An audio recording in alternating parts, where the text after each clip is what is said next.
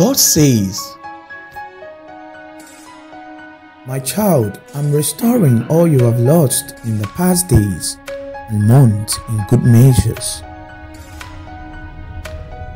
And I will raise a standard against all that defiles your blessings and belongings.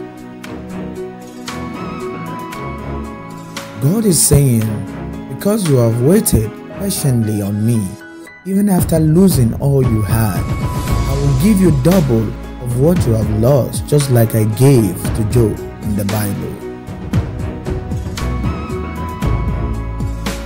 God is saying in the book of Joel 2, verse 25, And I will restore to you the years that the locust hath eaten, the cankerworm, and the caterpillar, and the palmer worm, my great army which I sent among you.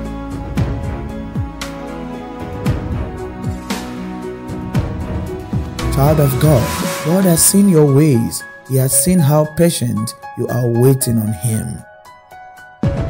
He said He will restore all that you have lost in good measures, pressed down, shaking, and running over. Type Amen. I believe, I receive. God bless you.